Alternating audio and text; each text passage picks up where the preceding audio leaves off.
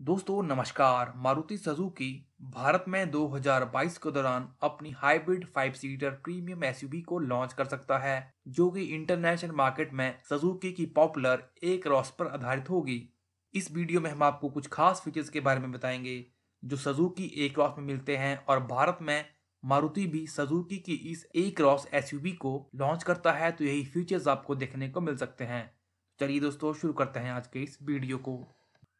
Video की शुरुआत अगर इंजन और परफॉर्मेंस से करें तो सुजुकी ए क्रॉस में प्लग इन हाइब्रिड 2.5 लीटर का पेट्रोल इंजन मिलता है, जो कि दो इलेक्ट्रिक मोटर के साथ आता है। ये एस ऑल व्हील ड्राइव की ऑप्शन में आती है। ई सीबीटी की गियरबॉक्स ऑप्शन में स्टैंडर्ड मिलता है। हाइब्रिड इंजन के साथ इस एस में multiple driving modes multiple traction mode की ऑप्शन भी मिलती है।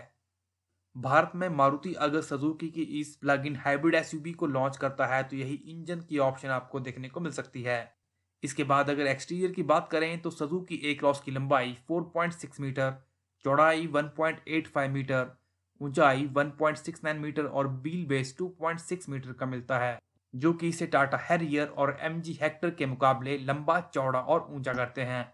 इसके एक्सटीरियर में सजुकी की बैजिंग के साथ बड़ी और attractive front grille projector headlamp skid plate front में और रेयर में O R B M bitter indicators roof rail shark fin antenna LED tail lights dual tone और मोनोटोन कलर्स की ऑप्शन जैसे फीचर सजुकी ए क्रॉस में आपको मिलते हैं।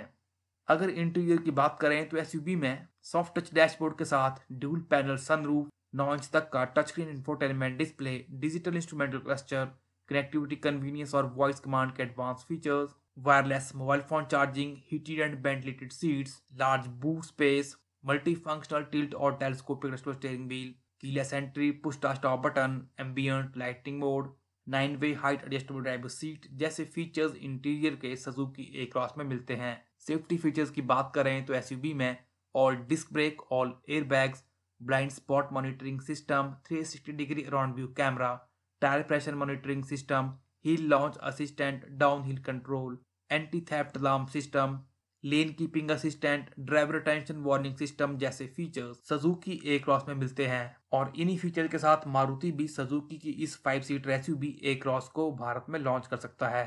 हालाँकि मारुति की तरफ़ से इस बात की कोई अधिकारिक पुष्टि नहीं है, पर भारत में मारुति अगर सजुकी की इस हाइब्रिड एसयूवी को इन फीचर के साथ लॉन्च करता है तो इसकी कीमत 30 लाख रुपए से लेके 40 लाख रुपए के बीच शुरू हो सकती है।